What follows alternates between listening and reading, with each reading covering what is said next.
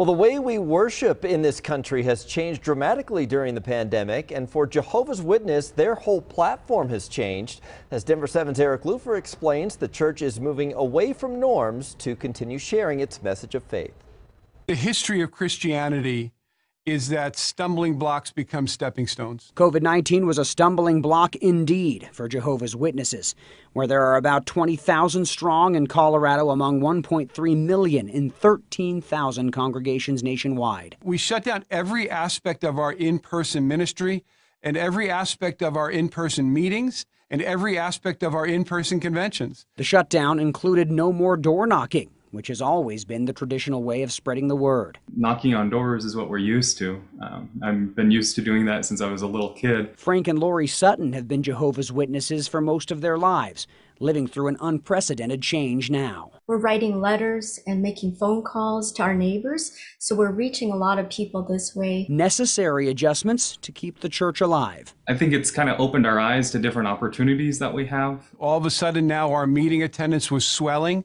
We were bringing in folks who we had not seen for a while. What they haven't learned is how to come out of a pandemic safely. We'll follow the guidance that we're given, but making sure that all lives are kept safe as we uh, kind of do enter the new normal. I'm Eric Lupher, Denver 7. Well, that ring or knock at the door could soon be from your neighborhood Jehovah Witnesses. Well, they're getting ready to go door to door once again after suspending the practice because of the pandemic. Well, News 12's Julio Avila has more on the revival of this tradition. After two and a half years of the pandemic squandering any kind of face to face contact, congregants from the Jehovah's Witnesses are now getting ready to do their well known door knocking once again. That's kind of our trademark. Uh, that's what we're known for. And uh, uh, our neighbors, you know, they, they expect us to come. Anthony Scandifio is the minister of the congregation's Kingdom Hall in Baychester. He says he's been door knocking for almost 50 years. So to be able to come to their homes, to give them some comfort, to show them that uh, God still cares about us and that there's hope for the future is, uh, is very exciting. To make up for the lost efforts, the Jehovah's Witnesses say they shifted spreading their message through written letters and over the phone. And we began shifting our ministry from that in person work to, to virtual ministry. Now, the Congregation of Jehovah's Witnesses have already been in full swing since the start of the summer. They've had these mobile carts out on the streets where they've been giving out these pamphlets. The congregation also tells us that these pamphlets are also essential, especially when they can't get into buildings that need a code. And they know that not everyone may open the door to them. If they feel that way, if they, they don't want to discuss uh, anything from the scriptures with us, uh, if they feel they, they don't want to visit, well, we understand that. But even as they return to door knocking, the Jehovah's Witnesses say it'll still carry out sending messages virtually, over the phone, and through literature. In Baychester, Julio Avila, News if you get a knock on the door, it could be the Jehovah's Witnesses. For the first time since the pandemic, they're starting back up their door to door ministry. The break in that type of outreach was unprecedented. For more than 100 years, Jehovah's Witnesses spread their religious messages and gained new members by going from house to house. They adjusted throughout the pandemic, writing letters and making phone calls for outreach. They did ministry through online platforms like Zoom. Well, since then, the denomination has returned to in person gatherings and some some are glad to return to door to door visits now as well. I love to do that. Uh, to be able to talk to people and you can see their response.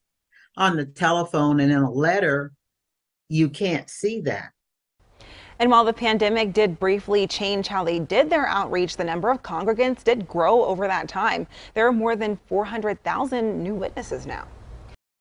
Well, that ring or knock at the door could soon be from your neighborhood Jehovah Witnesses. Well, they're getting ready to go door to door once again after suspending the practice because of the pandemic. Well, News 12's Julio Avila has more on the revival of this tradition. After two and a half years of the pandemic squandering any kind of face to face contact, congregants from the Jehovah's Witnesses are now getting ready to do their well known door knocking once again. That's kind of our trademark. Uh, that's what we're known for. And uh, uh, our neighbors, you know, they, they expect us to come. Anthony Scandifio is the minister of the congregation's Kingdom Hall in Baychester. He says he's been door knocking for almost 50 years. So to be able to come to their homes, to give them some comfort, to show them that uh, God still cares about us and that there's hope for the future is, uh, is very exciting. To make up for the lost efforts, the Jehovah's Witnesses say they shifted spreading their message through written letters and over the phone.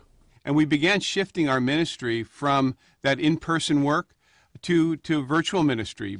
Now, the Congregation of Jehovah's Witnesses have already been in full swing since the start of the summer. They've had these mobile carts out on the streets where they've been giving out these pamphlets.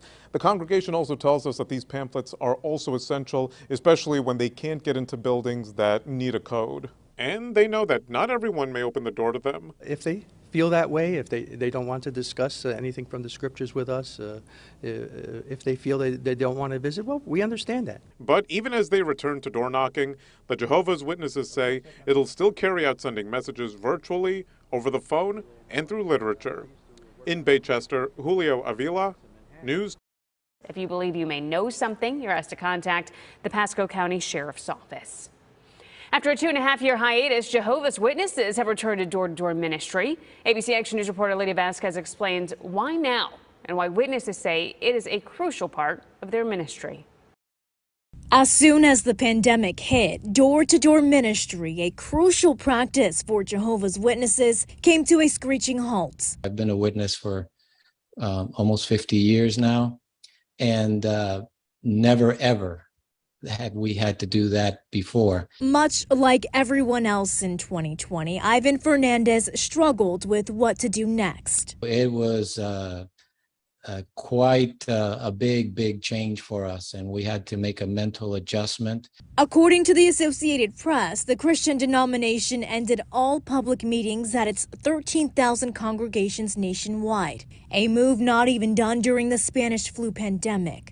While a drastic change and a worry for Fernandez, he says the impact didn't hold much weight. In the last two years, uh, approximately 400,000 have been baptized as Jehovah's Witnesses worldwide, which has been quite an increase. Fernandez tells me ministry continued by phone, writing letters, and conducting virtual Bible study. There's nothing like that personal contact, and, and we're really excited about going back to that. He says they made the decision to suspend door knocking based on Bible principles and collectively agreed to restart one of its most cherished beliefs September 1st, nearly two and a half years later. It was sort of like uh, getting back uh, on a bike again, uh, but uh, uh, it was uh, it was a wonderful feeling. And while knocking on a stranger's door comes with its share of anxiety, actually, on my first door, nobody opened. Fernandez celebrates life's simple rewards. What a pleasure to uh,